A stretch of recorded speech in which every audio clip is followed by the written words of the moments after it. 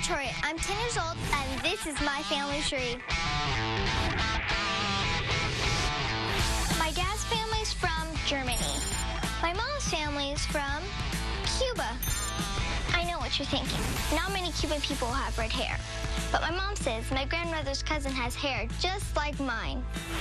My mom was born in the United States, but I still have lots of relatives in Cuba.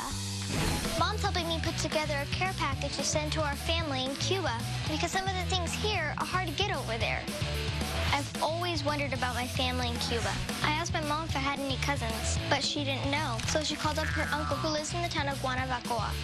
Our whole family there just shares one phone, so it was hard to reach them.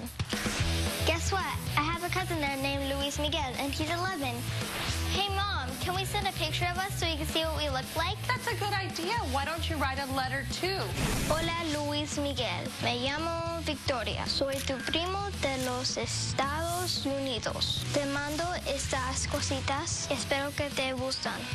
Ready to go. Cuba is pretty far from California, where I live, so it could take a few weeks before I get anything back. The care package. And that's my family tree on Disney Channel.